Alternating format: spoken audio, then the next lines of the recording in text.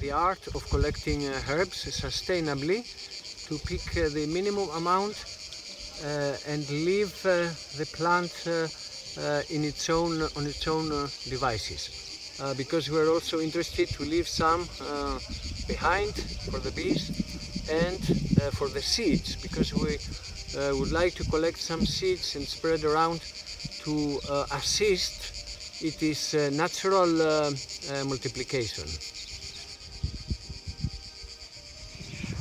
Here we make uh, basic extracts from the plants. And we put the herbs in the basket and the basket goes in, we fill it with water because this is uh, hydro uh, distillation uh, by boiling. There is other methods, but this is the classical method.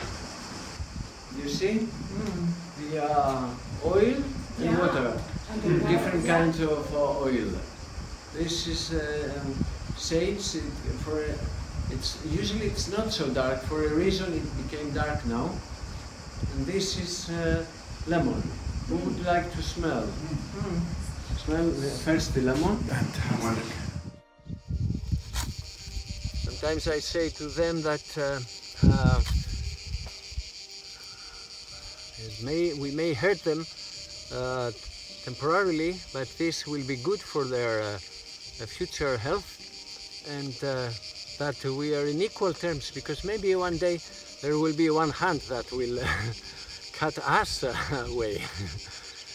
so we bear that in mind and, uh, and love the plant and its uh, purpose uh, for us and for the earth.